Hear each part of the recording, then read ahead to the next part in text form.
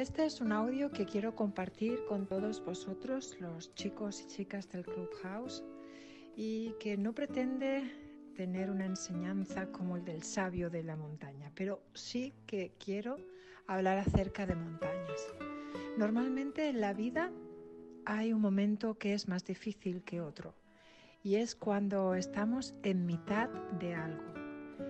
Por ejemplo, en el tiempo de la pandemia, al principio cuando empezó la pandemia estábamos muy asustados, pero pensábamos que las cosas iban a terminarse pronto, ¿verdad?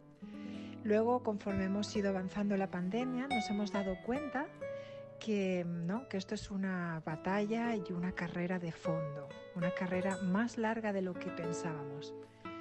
Cuando quede poquito para vencer al COVID, tendremos fuerzas y ánimo porque, porque estaremos cerca de la solución.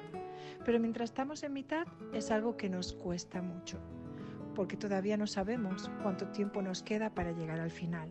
Y ya estamos cansados, ya estamos aburridos, ya estamos pensando en que no quiero estar más en esta situación. Y eso es lo que quiero enseñarte hoy, si es que quieres aceptar esta enseñanza.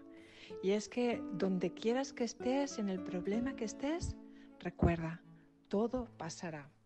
Si estás en mitad de algo, ya sea el COVID, ya sea un problema en tu vida, recuerda, todo pasará. Solo aguanta un poco más. Te aseguro que tengo muchos más años que tú y te aseguro que esa situación va a pasar y va a cambiar para tu bien.